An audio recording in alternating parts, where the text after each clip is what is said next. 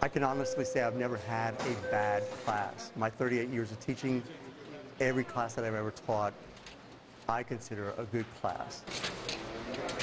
Thanks. I use a lot of visuals or hand-on uh, manipulatives, group work. It's a lot of back and forth, um, a lot of communication between the student and, and myself. When we study the endocrine system, then that's when we'll talk about the adrenal gland. Uh, not a lot of just sit down and lecture. Um, it's an active class. What's the name of that hormone? Insulin. Yeah, the hormone is called insulin. But it's a great honor. Um, I have been nominated before, but this is the first time I've made it all the way to the, the top 16. Um, it's hard to believe that somebody nominated and, and I got to that level. Did y'all find the kidneys? Or you're not there yet? Okay, here's the kidney and here's the kidney. So it can't be the kidney.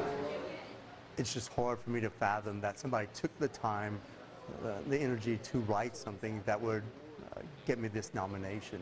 I, I appreciate it greatly.